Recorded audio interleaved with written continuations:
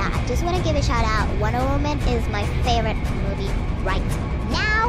But yeah, I picked this girl and we are gonna customize her to be like Wonder Woman. Not like the actual like Wonder Woman one ugh, Wonder Woman's um, clothes and hair and stuff, just like Wonder Woman inspired look. But I hope you guys enjoyed this video and yeah, goodbye!